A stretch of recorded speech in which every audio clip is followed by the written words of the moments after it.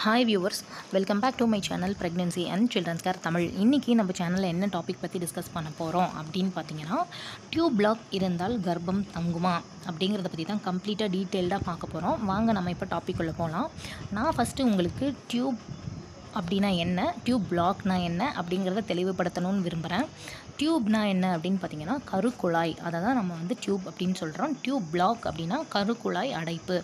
அதை தான் நம்ம டியூப் பிளாக் அப்படின்னு சொல்கிறோம் டியூப் பிளாக் இருந்தால் கண்டிப்பாக கர்ப்பம் தங்காது. கர்ப்பம் தங்குறதுக்கும் இது விடாது.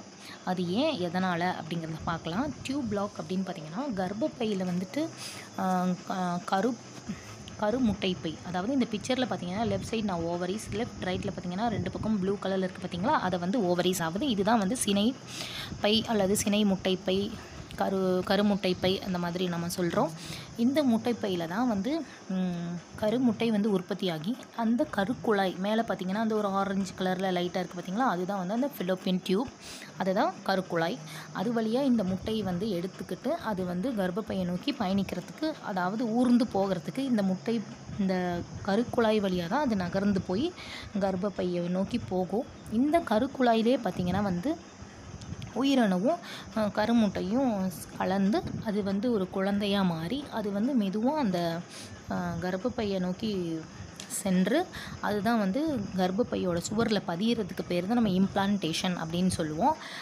இந்த ப்ராசஸை வந்து இந்த பிளாக் இருந்ததுன்னா கண்டிப்பாக இது நடக்கிறதுக்கு விடாது. பிளாக்னா என்ன அப்படின்னு பார்த்தீங்கன்னா ரைட் சைடு ஒரு சின்னதாக ஒரு வட்டத்துக்குள்ளே வந்து பார்த்தீங்கன்னா ஒரு பிளாக்கேஜ் இன் டியூப் அப்படின்னு சொல்லிட்டு நான் ஒரு சின்ன ஒரு பிக்சர் மாதிரி கொடுத்துருக்கேன் பாருங்கள் அதுக்குள்ளே வந்து அந்த வெள்ளை கலரில் ஒரு நார் திசு மாதிரி ஒரு இது ஃபார்ம் ஆயிருக்கு பார்த்தீங்களா கண்டிப்பாக இதுதான் பிளாக்கேஜ் நம்மளோட கருக்குழாய்க்குள்ளே வந்து இந்த மாதிரி ஒரு அடைப்பு வந்து நார் திசுக்களால் அது வந்து பார்த்திங்கன்னா பார்த்திங்கன்னா நல்லா ஸ்ட்ராங்காக கருமுட்டை வந்து அந்த பக்கம் போக விடாமல் அதாவது கர்ப்பப்பையை நோக்கி அது போக விடாமல் பண்ணிடும். அப்படி நடந்தால் கண்டிப்பாக வந்து கர்ப்பம் தங்கிறதுக்கான சான்சஸ் இல்லை. அப்படியே கர்ப்பம் தரிச்சாலும் அது எங்கே நடக்கும் அப்படின்னு பார்த்தீங்கன்னா அந்த கருக்குழாய் அதாவது கர்ப்பப்பையில் போய் சேராமல் அந்த கருக்குழாயிலே வந்து அது குழந்தையாக மாறி அந்த இடத்துலே வந்து அது வளர ஆரம்பிச்சிடும். இதை தான் நம்ம வந்து எக்டோபிக் ப்ரெக்னன்சி அப்படின்னு சொல்கிறோம் இந்த எக்டோபிக் ப்ரெக்னன்சி நடந்தாலும் கண்டிப்பாக அது வேஸ்ட்டு தான். ஏன்னா இந்த குழந்தைய வந்து நம்ம மெச்சிக்க முடியாது. அந்த இடத்துல அதால் வளரவும் முடியாது. இது வந்து தன்னால் பார்த்திங்கன்னா அந்த இடத்துலயே வந்து வெடிக்கிறதுக்கான வாய்ப்புகளும் இருக்குது அப்படி ஆயிட்டாலும் அது நார்மலாக ப்ளீட் ஆகிடும் இது வந்து நமக்கு ஒரு குழந்தையாக ஃபார்ம் ஆக முடியாது. இந்த மாதிரி நடந்தாலும் கண்டிப்பாக இதை டிஎன்சி அதாவது கர்ப்பப்பையை சுத்தப்படுத்தி நம்ம இதை வெளியே எடுத்து தான் ஆகணும். வேறு வழி இல்லை.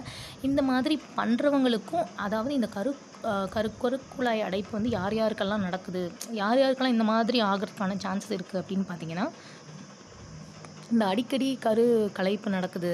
அவங்களுக்கு வந்து இந்த டிஎன்சி பண்ணும்போது வந்து பார்த்துட்டிங்கன்னா சரியாக கம்ப்ளீட்டாக வந்து க்ளீன் பண்ணாமல் அதாவது கம்ப்ளீட்டாக சுத்தம் பண்ணாமல் ஏதோ ஒரு திசுக்கள் அந்த குழந்தையோட அந்த வளர்ச்சி அடையாத ஒரு குழந்தையோட திசுக்கள் ஏதாவது ஒன்று அந்த கருக்குழாயிலே தங்கிடுறது அந்த கர்ப்பப்பையிலே தங்கிடுறது இந்த மாதிரி இருக்கவங்களுக்கும் இந்த மாதிரி கருக்குழாய் அடைப்பு வரத்துக்கான வாய்ப்புகள் இருக்குது அடுத்தது யாருக்கெல்லாம் வரும் அப்படின்னு பார்த்தீங்கன்னா இந்த சுத்தமின்மை சரியான வந்து இந்த இன்டிமேட் பார்ட்டை வந்து அதாவது இந்த பிறப்புறுப்பு வந்து சரியான படிக்கு சுத்தம் இல்லாமல் யாரெல்லாம் வச்சுருக்காங்களோ அவங்களுக்கும் கண்டிப்பாக இந்த கருக்குழாய் வட அடைப்பு வரத்துக்கான வாய்ப்புகள் இருக்குது அது எப்படி வரும் அப்படின்னு பார்த்தீங்கன்னா இவங்களுக்கு சரியான சுத்தமின்மையால் வந்து பார்த்திங்கன்னா ஒயிட் டிஸ்சார்ஜ் அப்படிங்கிறது வந்து ரொம்பவே அதிகமாக இருக்கிற வாய்ப்புகள் இருக்குது அப்படி வெள்ளைப்படுதல் இருந்ததுன்னா பார்த்திங்கன்னா கண்டிப்பாக வந்து அவங்களுக்கு வந்து இன்ஃபெக்ஷன் ஆகிறதுக்காக இன்ஃபெக்ஷன் ஆகிறதுக்கு நிறையவே சான்சஸ் இருக்குது அந்த இன்ஃபெக்ஷன் பார்த்திங்கன்னா அது வந்து பிறப்புறுப்பில் மட்டும் இல்லாமல் அது வந்து அந்த யூரின் ட்ராக் வழியாக போய் நமக்கு வந்து டியூப்லேயும் வந்து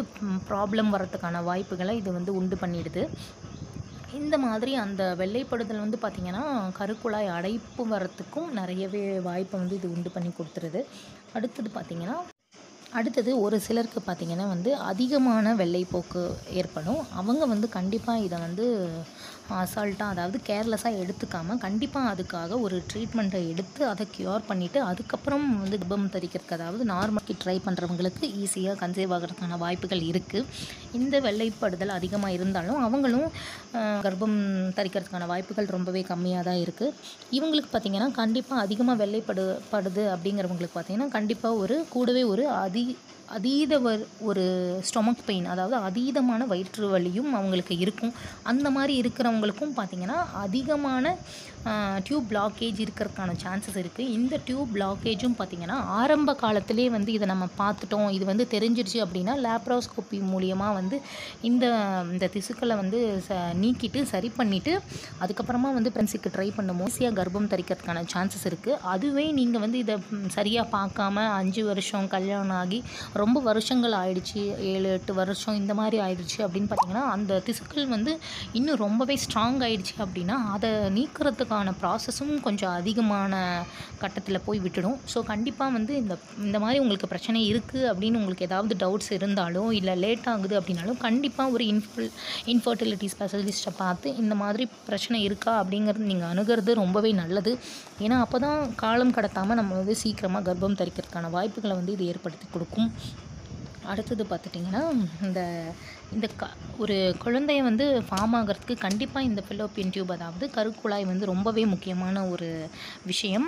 இதில் வந்து கண்டிப்பாக ஒரு சைடு அடைப்பு இருந்தாலும் கண்டிப்பாக இன்னொரு சைடு வந்து பார்த்திங்கன்னா கருமுட்டை உற்பத்தி ஆகும் ஒரு க ஒரு கர்ப்பப்பையில் பார்த்திங்கன்னா ஒரு கருமுட்டை பை ஒரு கர்ப்பப்பை அடுத்தது பார்த்திங்கன்னா ஒரு கருக்குழாய் ரெண்டு பக்கமும் இருக்கும் கருக்குழாய் ரெண்டு சினை முட்டை பை இருக்கும். ஒரு முட்டை பை ஒரு முட்டை பையில் ஏதாவது பிரச்சனை இருந்தாலும் அதாவது பிசிஓடி இருந்தாலும் கண்டிப்பாக இந்த முட்டை ஃபார்ம் ஆகிறதுலே வந்து பிரச்சனை வந்துடும் இல்லை பார்த்திங்கன்னா ஒரு முட்டை அதாவது சின்னதுலேருந்து பெருசாக அதோட நாளுக்கு நாள் வளர்ச்சி அடாமல் நிறைய முட்டைகளை வந்து இது டெவலப் ஆகி விட்டுடும் ஒன்று சரியாக வளராமல் நிறைய வந்து பாலிசிஸ்ட் அதாவது நிறைய வந்து வ- வளர்ச்சி அடைந்து அது மேலே நீர்க்குமிழிகள்லாம் நிறைய வந்துடும் அதை தான் நம்ம வந்து பாலிசிஸ்ட் அதாவது நீர்க்கட்டி அப்படின்னு சொல்கிறோம் இந்த மாதிரி பிரச்சனை இருந்தாலும் முட்டை வளர்றதுலே பிரச்சனை வந்துடும் இல்லை முட்டை வளர்றது எந்த பிரச்சனையும் இல்லை. டியூப்பில் தான் பிரச்சனை இருக்குது ஒரு சைடு அடைப்பு இருந்தாலும் கண்டிப்பாக இன்னொரு சைடு வர கரு முட்டை வந்து நார்மலாக வந்து கருக்குழாயில் வந்து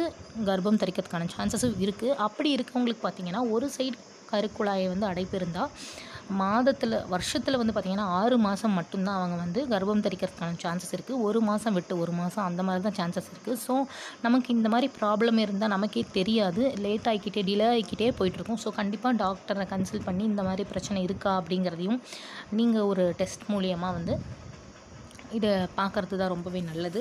அடுத்தது பார்த்திங்கன்னா இந்த இந்த கருக்குழாயில் பார்த்துட்டிங்கன்னா சிலியா அப்படின்னு சொல்லிட்டு ஒரு சின்ன முடி மாதிரி ஒரு ஹேர் மாதிரி ஒரு ஒரு பார்ட்டிக்கல் இருக்கும். அது வந்து பார்த்துட்டிங்கன்னா ரொம்பவே ஒரு முக்கியமான அம்சமாக இருக்குது இதில்.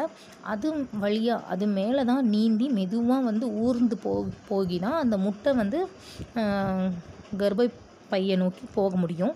ஆனால் நமக்கு வந்து இந்த பிளாக்கேஜ் இருக்கிறதுனால அதாவது இந்த ஒயிட் டிஸ்சார்ஜ் அதிகமாக இருக்கிறவங்களுக்கு பார்த்திங்கன்னா இந்த இன்ஃபெக்ஷன்னால் அந்த சிலியா அப்படின்னு சொல்லிட்டு இருக்கிற அந்த ஹேர் அதாவது அந்த அந்த முடி மாதிரி இருக்கிற ஒரு ஆர்டிக்கல் பார்த்திங்கன்னா கண்டிப்பாக கம்ப்ளீட்டாக டேமேஜ் ஆகிடுது அதாவது அது கம்ப்ளீட்டாக ட்ரை ஆகி டேமேஜ் ஆன மாதிரி ஆகிடுது இந்த மாதிரி ஆனாலும் பார்த்திங்கன்னா கருமுட்டை வந்து ஈஸியாக மூவ் ஆகி போக முடியாமல் ஒரே இடத்துல இருக்கிறதுக்கான வாய்ப்புகளும் இருக்குது இந்த மாதிரி இருக்கும் பொழுதும் பார்த்திங்கன்னா இது வந்து எக்டோபிக் ப்ரெக்னென்சியாக ஃபார்ம் ஆகிறதுக்கு நிறையவே சான்ஸ் இருக்குது ஸோ கண்டிப்பாக இந்த மாதிரி ப்ராப்ளம் இருக்குது அப்படின்னு உங்களுக்கு ஏதாவது டவுட்ஸ் இருந்தாலோ அதிகமாக வெள்ளைப்படுதல் இருந்தாலோ அதீத இந்த பீரியட்ஸ் டைமில் உங்களுக்கு வந்து அதீத வயிற்று வலி இருந்தாலும் கண்டிப்பாக நீங்கள் வந்து சீக்கிரம் ஒரு டாக்டரை கன்சல்ட் பண்ணி நீங்கள் ஏதாவது டியூப் பிளாக் இருக்கா அப்படிங்கிறத செக் பண்ணிவிட்டு இந்த டியூப் பிளாக்கை வந்துட்டு அப்படி இருந்தாலும் ஒன்றும் பிரச்சனை இல்லை. கண்டிப்பாக இதை லேப்ராஸ்கோபி மூலியமாக சரி பண்ணிடலாம். அப்படி சரி பண்ணிவிட்டு அதுக்கப்புறமா நார்மலாக வந்து ப்ரெக்னென்சிக்கு ட்ரை பண்ணுறது தான் நல்லது.